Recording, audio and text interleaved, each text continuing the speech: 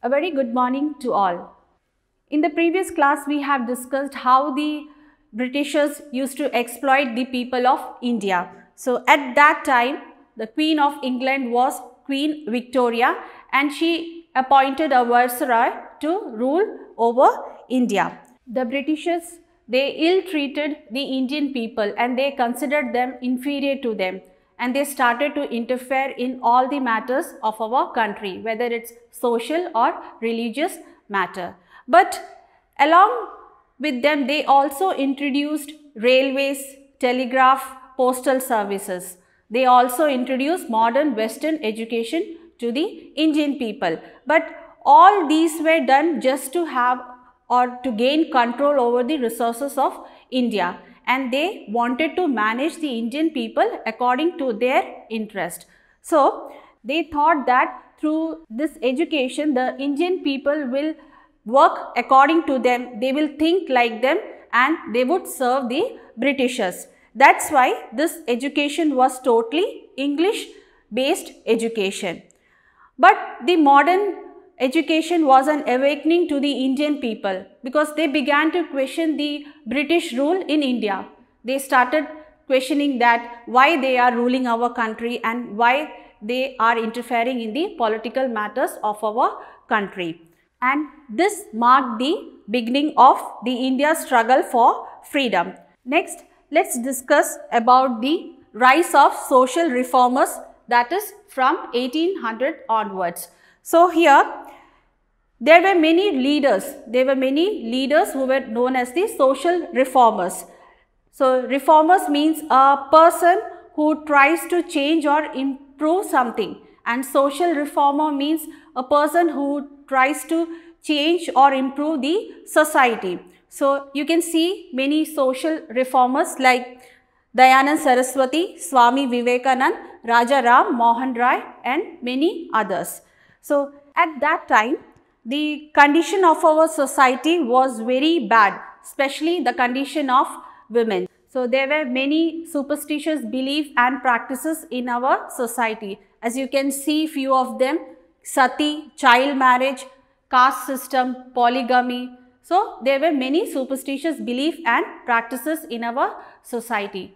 The girls were not allowed to be educated and they also followed this practice that is child marriage which means that at young age the girls were forced to marry.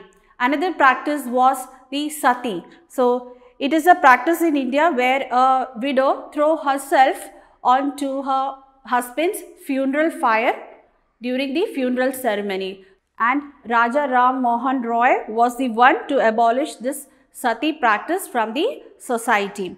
Next was the caste system. Here the upper caste people, they considered the lower caste people inferior to them and they ill-treated them.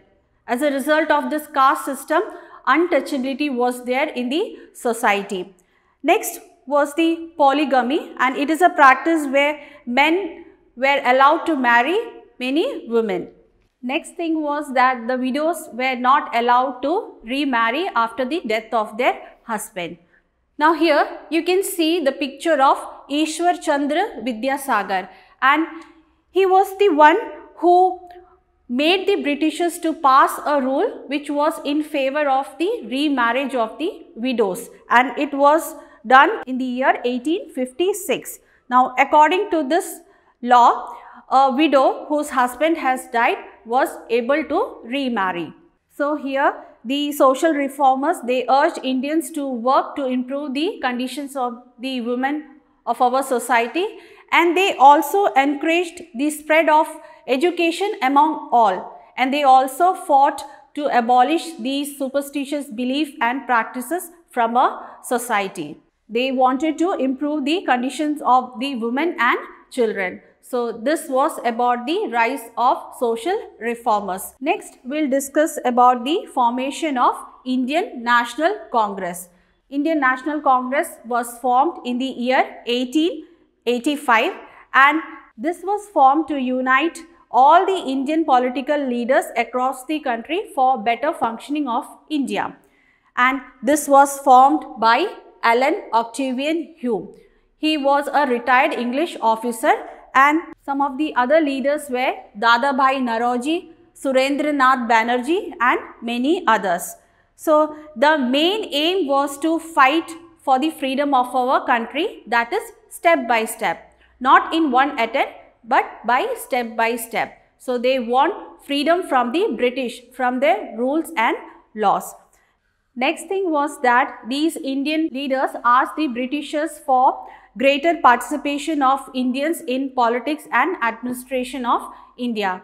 They also asked Britishers to include Indians in legislative assembly and council because they said that these governments are made for the Indians, these rules are made for the Indians, so Indians should be part of this government.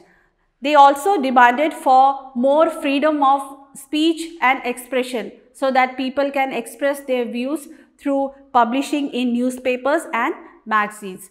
So, these were the demands of the Indian National Congress. However, the Britishers never took these demands very seriously because they wanted to rule over India. So, today we have discussed about the rise of social reforms and formation of Indian National Congress. That's all for today. We'll meet in the next class. Thank you.